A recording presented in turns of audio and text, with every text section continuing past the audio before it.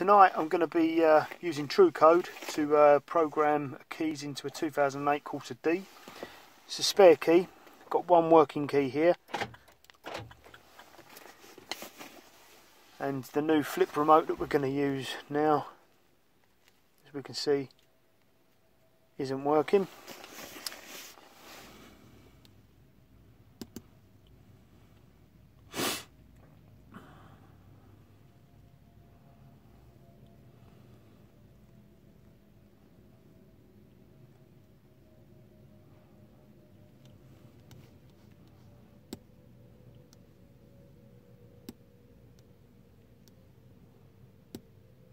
I'm going to read the pin. Stay in the UK as well. So she's saying that because there's been a material change.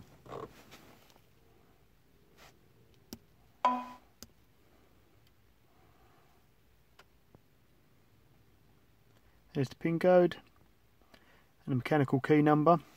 As this is a spare key, I'm going to click add keys.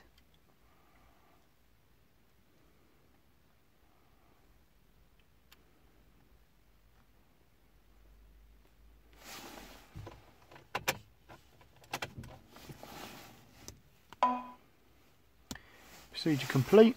We'll check the car starts. This is with the new key.